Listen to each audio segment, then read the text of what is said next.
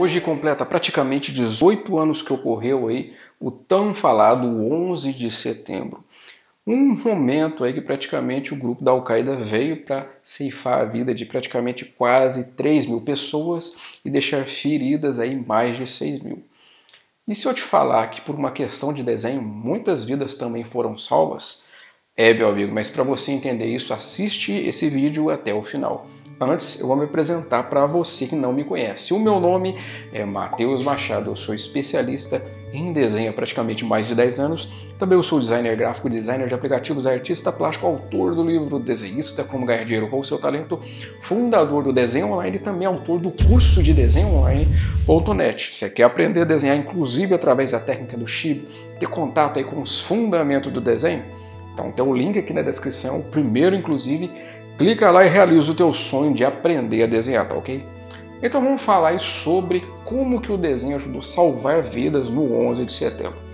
Bom, eu vou estar destacando com relação especificamente aí ao Pentágono que ocorreu lá, tá? Até para contextualizar você, eu vou estar citando onde que eu estava quando ocorreu o fato. Eu lembro que eu estava praticamente na escola, né? Era no segundo ano do ensino médio e o pessoal começou a falar sobre o atentado. Parecia praticamente o fim do mundo. Então eu fui para casa, minha mãe falando, todo mundo falando, o mundo inteiro falando, a televisão falando, todo mundo comentando sobre o ocorrido. Parecia uma coisa assim bem complicada, parecia coisa de ficção, né? Mas assim, uma coisa curiosa é o seguinte, que é aí que entra a questão do desenho. No Pentágono, quando caiu o terceiro avião, lá tinha praticamente 800 funcionários, né?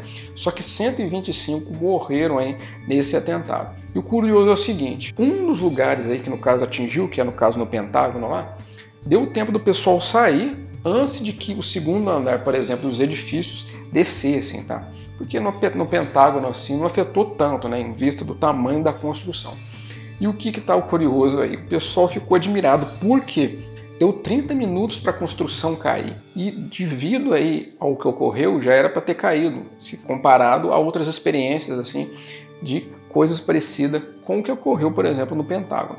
Então foi que depois tá, chamaram aí um engenheiro estrutural, que é o Donald Desenberry, né? Eu fui lá para tentar entender isso e ficou admirado. Falou, poxa, tem alguma coisa diferente aqui, vamos tentar entender. Aí eles analisaram, no caso, a estrutura né, e começaram a avaliar para ver o que, que tinha ocorrido. E uma coisa que eles perceberam, que é uma coisa muito curiosa, era o seguinte: na hora lá que teve a queda do avião, né, no caso, caiu o combustível, pegou fogo e tal, ficou só em pé 15 estruturas bem danificadas. As outras 26 elas foram ao chão foram totalmente danificadas. Então, só para você entender, eu vou estar destacando com relação à coluna de concreto que segurou o segundo andar aí por mais tempo, tá?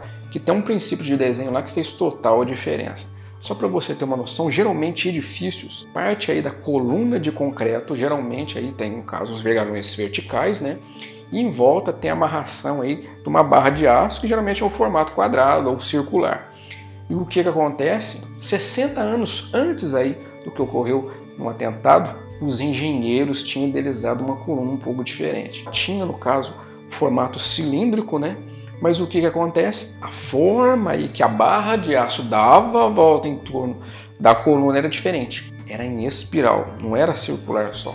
Então era um fio só, né, praticamente dessa barra de aço que dava a volta, tá? Isso que inclusive o dono de Desenberg, ele acredita que segurou inclusive o concreto, porque na hora eles observaram que dentro ali da amarração dentro dessa ferragem praticamente tinha uns pedaços de concreto que ajudou também a sustentar. Isso fez total diferença. E na hora de entortar também fez diferença, absorveu um pouco o impacto e até na forma de partir a estrutura também não foi igual aos outros formatos, né, que geralmente acontece de quebrar, de partir, esticar, né? Então isso fez total diferença, tá? É um princípio aí praticamente de desenho que permeia a estrutura, que permeia o estudo, por exemplo, de arquitetura, de engenharia, e são questões como essa que no caso você pode aplicar no seu desenho também, que fazem total diferença, porque por trás da forma também tem um princípio ali que ajuda a você utilizar ela de uma forma mais otimizada, mais inteligente. Tudo bem que tudo não é uma questão de ser bom ou ruim. Tem coisas que têm pontos positivos e pontos negativos. Então, por trás não só da forma física, mas também da forma, da ideia, no caso quadrado, figuras geométricas, tem coisas ali que a gente precisa entender também se a gente quiser aproveitar o máximo possível dessas formas e que faz total diferença aí no estudo do desenho. Tenta buscar esses princípios também, né? Por trás das formas tem coisas bem legais. São proporções, são coisas que facilitam a funcionalidade das coisas, tá? E quanto mais você permeia, mais você estuda, mais diferença você faz no mundo também. Não é só uma questão estética, não. Tem muitas coisas por trás. Inclusive, salvar vidas, tá ok? Então ficamos por aqui. Eu espero que você tenha gostado desse vídeo. Se você gostou, não esqueça de deixar o seu gostei, que ajuda bastante. Se você é novo no nosso canal, não esqueça de se inscrever clicar no sininho para ativar as notificações. Porque assim, quando eu postar um vídeo novo, você vai ficar sabendo, tá ok? E destacar também que a gente tem aí um curso de desenho online.net. Você quer aprender a desenhar, inclusive através do Chile? Pois é, tem o link na descrição, clica aí, começa e realiza o teu sonho de aprender a desenhar melhor, tá ok? Ó, oh, e não esquece de compartilhar esse vídeo também, tá ok? Então ficamos por aqui e até o próximo vídeo.